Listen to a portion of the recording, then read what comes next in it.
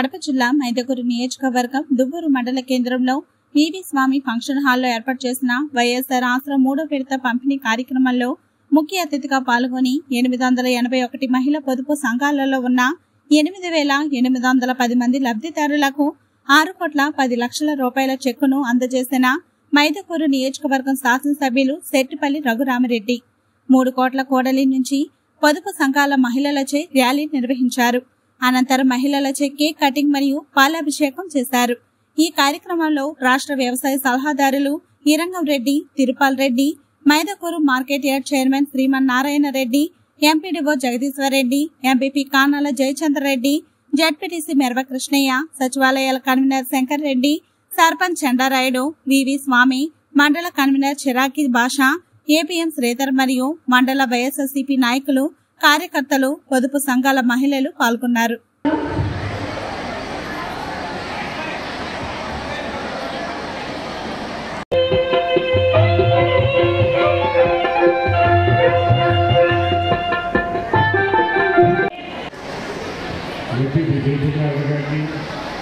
MPP గారికి గారికి శ్రీనారాయణ గారికి మండల పార్టీ కన్వీనర్ దాస గారికి అదే రకంగా శంకరెడ్డి గారికి ఏపీ సర్పంచ్ చంద్రారెడ్డి గారికి మరి పైన ఇచ్చేసినటువంటి ప్రజా ప్రజలకు మరి ఇచ్చేసినటువంటి అధికారులకు మరి ముఖ్యంగా ఈనాడు జగన్మోహన్ రెడ్డి గారి మీద అభిమానంతో ఆయన ఆశీర్వదించి మీ అందరికీ ప్రత్యేకంగా నా హృదయపూర్వక నమస్కారం తెలియజేస్తున్నాను. మరి ఈనాడు మీరు చూస్తున్నారు కేంద్ర ప్రభుత్వం చూశారు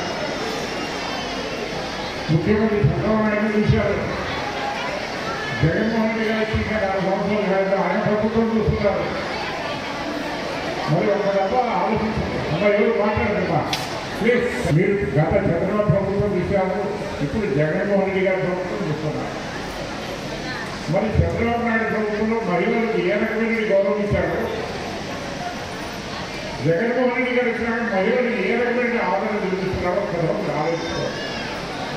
రెండు వేల పద్నాలుగు ఎన్నికలప్పుడు చంద్రబాబు నాయుడు ఏం చేశారు? నా కడప సమావేశంలో ఈరోజు మూడవీటికి చెప్తున్నారని చూశారు. మనం ఏమైనా పార్టీ చూస్తున్నావా ఈ సంఘాల్లో తెలుగుదేశం కూడా ఉన్నారు కదా. వాళ్ళు దేవుడు ఏమైనా పోతారా ప్రతి ఒక్కరికి చెప్తున్నాను కదా? నిజమైన రామరాజ్యం ఇదే పెన్షన్ కానీ చేయుత కానీ ఆస్తులు కానీ అన్ని రకాల అందరికీ సమానమైన న్యాయం చేస్తున్నా లేదా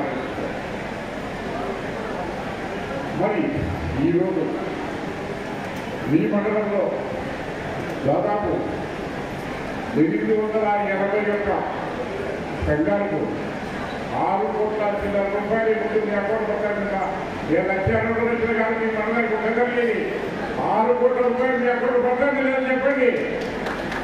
అయిందా లేదా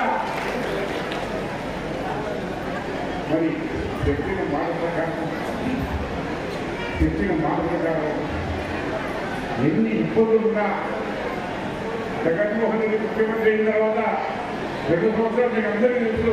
కోవిడ్ వచ్చిందా లేదా